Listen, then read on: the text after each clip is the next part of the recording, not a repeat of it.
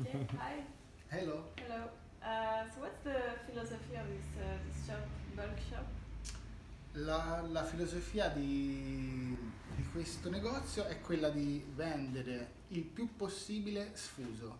Quindi tutto quello che possiamo vendere sfuso per la legge oppure per eh, il tipo di contenuto lo vendiamo sfuso. Quindi eh, la passata di pomodoro, ehm, il, la crema di carciofi, altre cose così le vendiamo confezionate. Invece eh, tutto quello che possiamo vendere sfuso, ad esempio la farina di grano in Italia non può essere venduta sfusa per legge e quindi la dobbiamo vendere confezionata. Invece tutto il resto cerchiamo di venderlo sfuso.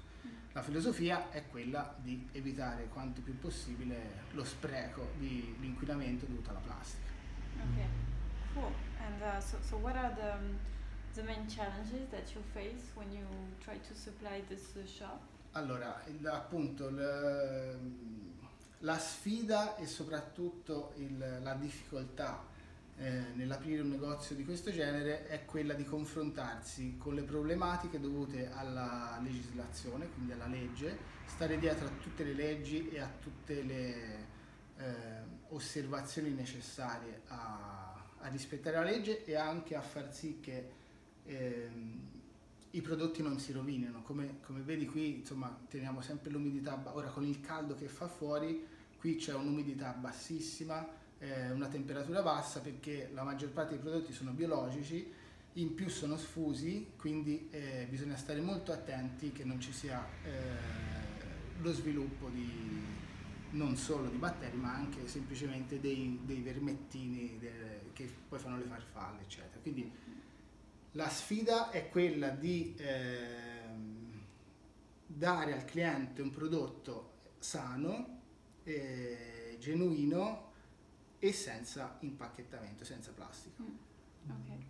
Um, and for the young people who like to open a shop or entrepreneurs, do you have any advice?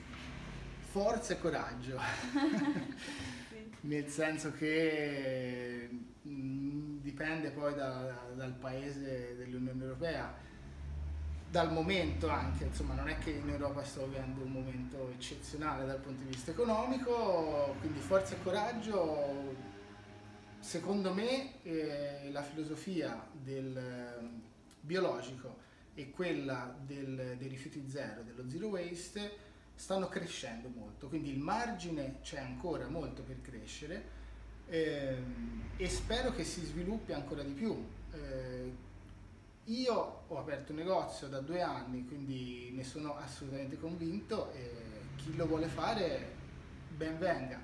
Rivolgetevi a produttori locali, cercate di rimanere il più possibile sul territorio così che potete andare a visitare le aziende, conoscere il produttore e possibilmente, come succede a noi con le verdure, con i formaggi, con altre cose, viene il produttore qui, ti porta le cose, si ferma 10 minuti a chiacchiera, quando c'è il cliente lo conosce, gli fa delle domande. Grazie. And maybe why why you uh, started the business? Why did you why did you start? Uh, Io no.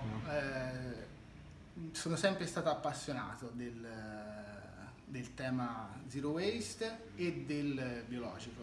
Eh, quando iniziai a mangiare cibo biologico un 20-25 anni fa forse, e ancora si conosceva poco, eh, una ventina di anni fa diciamo.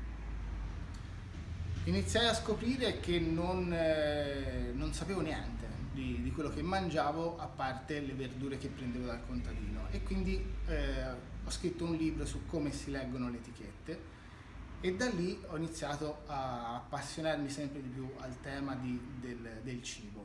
In più appunto eh, essendo appassionato anche dei temi ambientali sono stato a Göteborg l'oasi ecologica più grande che c'è in Europa, è un posto meraviglioso dove riciclano tutto, ci sono negozi, un ristorante, negozi di vestiti dove aggiustano e rivendono eh, i rifiuti, la spazzatura.